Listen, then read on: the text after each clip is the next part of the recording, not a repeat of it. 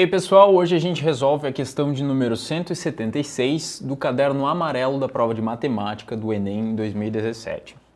Antes de ir para a solução dessa questão, que é muito divertida, eu vou pedir que vocês nos sigam nas nossas redes sociais e cliquem naquele sininho do YouTube para receber atualizações de quando os nossos vídeos vão chegando. A igreja de São Francisco de Assis, obra arquitetônica modernista de Oscar Niemeyer, localizada na Lagoa da Pampulha, em Belo Horizonte, possui abóbadas parabólicas. A seta na figura 1 ilustra uma das abóbadas na entrada principal da capela.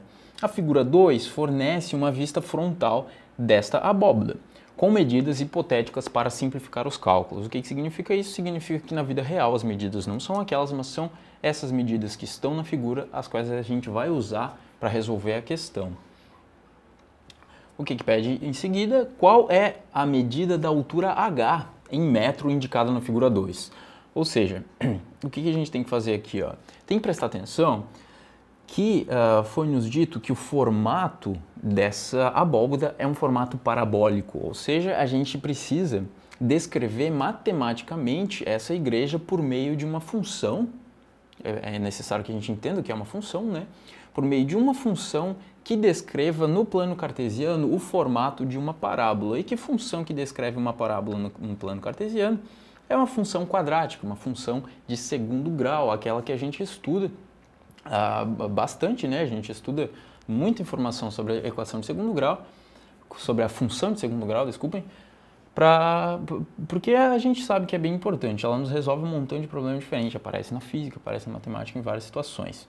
Qual que é o formato dessa função? Então, a gente sabe que f de x é igual a ax ao quadrado mais bx mais c. Essa é a cara de uma função de segundo grau, ou seja, essa função inteira ela descreve o formato de uma parábola. Agora, eu tenho que descobrir quem são a, b e c para essa abóbada, para essa parábola em específico, para aí sim eu conseguir descrever essa abóbada da qual a gente está falando no problema e descobrir a altura dela. Eu, uh, aqui o que eu acabei de escrever é uma forma genérica de uma parábola, mas não daquela parábola. Aquela parábola vai ser descrita quando eu descobrir os valores de A, B e C. Então vamos fazer isso, né? Vamos descobrir os valores de A, B e C. Descobrindo esses valores, a gente parte para a resposta em si, que é da altura máxima dessa parábola. Então vamos colocar aqui um referencial, um plano cartesiano, reescrever a parábola e eu vou escrever ela com a, a, uma perninha passando na origem do sistema de referência, do sistema de coordenadas. Por que, que eu fiz isso? Em, alguns, em algumas soluções, provavelmente alguém pode resolver esse problema colocando o referencial ali no centro da parábola, assim como eu, como eu desenhei amarelo agora.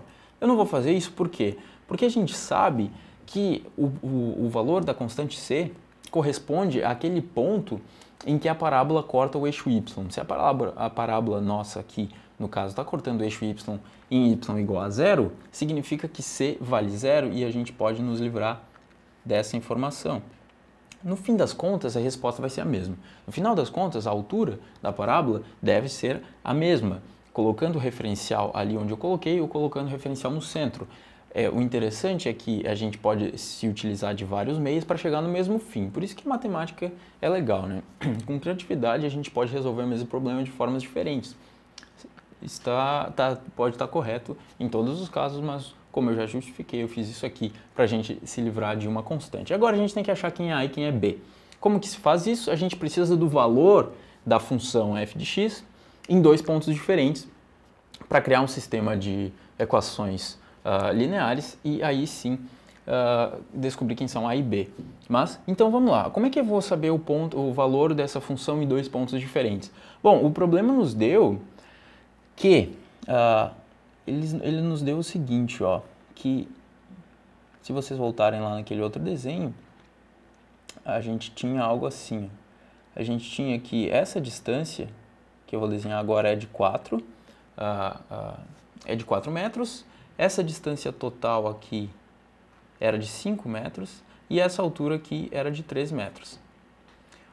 Como a parábola é simétrica, essas, essas medidas que, que estão ali no lado direito, que eu acabei de desenhar do lado direito da parábola, elas também elas devem se espelhar no lado esquerdo. Então todas essas medidas elas valem no lado esquerdo.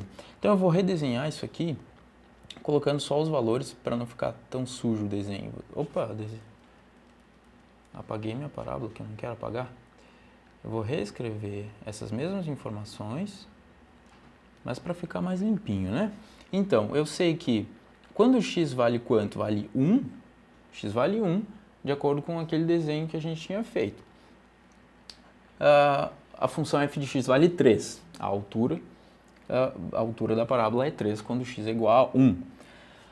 Quando x uh, é igual a 5, a gente vai ter a altura máxima da nossa parábola, que é a informação que a gente vai procurar, mas por enquanto a gente só sabe quanto, quanto é o valor de x, aqui a gente quer saber o valor de y, quando x é igual a 5, e a gente sabe mais, deixa eu apagar um pouquinho mais aqui, a gente sabe ainda que para quando x é igual a 10, x aqui, ó, x é igual a 10, que é no final da parábola, y vale zero novamente.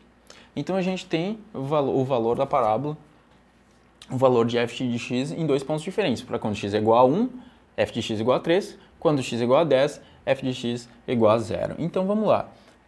A gente sabe que se x é igual a 10, f de x é igual a 0. Então, f de x eu já substituí por 0.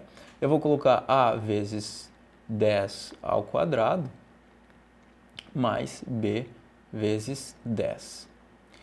E a gente sabe que quando x é igual a 1, f de x é igual a 3. Então, eu tenho a vezes 1 ao quadrado mais b vezes 1. Olha que ficou simpático uh, esse nosso sisteminha de equações. Né? Eu vou reescrever ele aqui do lado e prestem atenção no seguinte. Eu posso cortar, como na primeira equação eu tenho zero do lado esquerdo, eu posso cortar esse 10 que está multiplicando b com um dos 10 que está multiplicando a. E eu vou ficar com o seguinte, eu vou ficar que zero é igual a 10 vezes a mais b.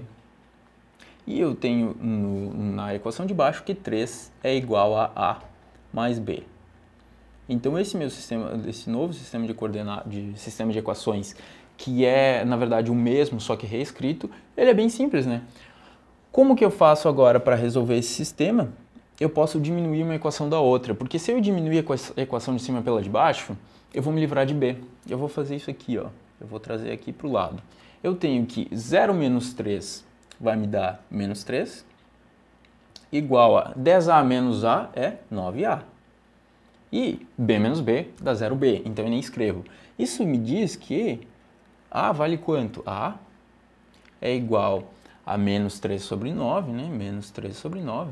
E eu divido por 3 em cima e por 3 embaixo, eu vou ficar com menos 1 terço. A vale menos 1 terço.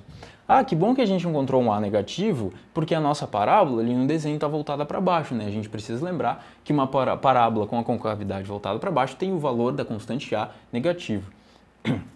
Enquanto, enquanto que a parábola com a concavidade para cima tem o valor da constante A positivo. A gente encontrou A igual a menos um terço, isso é um bom sinal para nós. Para encontrar quanto vale B agora, a gente substitui o valor de A numa das equações. Eu vou substituir ali na primeira, né? Então, da primeira equação, eu sei que zero é igual a 10 vezes 10 vezes menos 1 sobre 3, mais b. Aí agora eu só isolo o, o, o b. Então, o que, que eu vou ter aqui? Eu vou, se eu multiplicar o 10 por menos 1 sobre 3, eu vou ficar com menos 10 sobre 3.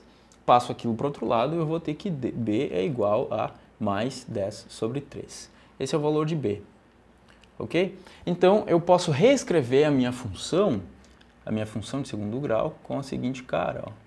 f de x é igual a menos 1 terço vezes x, opa, peraí, vezes x ao quadrado, mais 10 terços vezes x.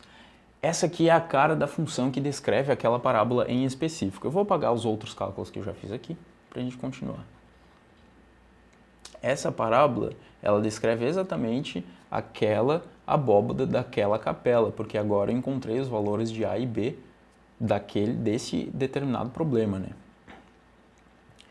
O que a gente precisa fazer agora é encontrar, agora que a gente já tem né, a descrição matemática completa daquela parábola, é encontrar o ponto mais alto daquela parábola. Existe mais de uma forma de fazer isso. Mas, como a gente já sabe que é, o ponto mais alto dessa parábola vai ser exatamente no meio do caminho, e a gente sabe que o meio do caminho vale 5 por causa das, das, por causa daquele desenho da figura 2, de todas as informações que tinha ali, a gente conseguia inferir que no meio do caminho, no ponto mais alto da parábola, a gente tinha que x valia 5. Então, a gente vai pegar essa equação que a gente acabou de, de completar aqui, substituir x igual a 5 nela e descobrir quanto que vale f de x uh, pra, por causa de x valer 5. Então, f de 5, que vai ser o ponto mais alto, né? h é igual a f de 5, vai ser igual a menos 1 sobre 3 vezes 5 ao quadrado, mais 10 sobre 3 vezes 5. Para resolver isso daqui, eu vou isolar 5 sobre 3 que aparece nos dois, no, no, nos dois termos, né? Então eu vou ficar com 5 sobre 3 para fora dos parênteses. Ali no primeiro termo vai me sobrar só o 5 e no segundo termo vai me sobrar o 10. Então eu vou ter o seguinte, vou trazer aqui para baixo eu vou ter 5 sobre 3. Ah, tá, peraí, aqui no primeiro termo era menos 5. Ah, ali no primeiro termo eu tinha que ter colocado o sinalzinho de menos, né? Então, eu vou ficar com 5 sobre 3 vezes menos 5 mais 10. Então, eu vou ficar com 5 uh, ah, sobre 3. O que tem ali dentro dos parênteses vai ser 10 menos 5, vai me dar 5. Eu vou ficar com 25 sobre 3. 25 sobre 3 é a altura máxima, né? Dessa parábola. Vamos ver qual é a alternativa que, a gente, que, que nos mostra 5 sobre 3. É a alternativa D. A alternativa D é a resposta dessa questão. Eu espero que tenha ficado claro e até a próxima.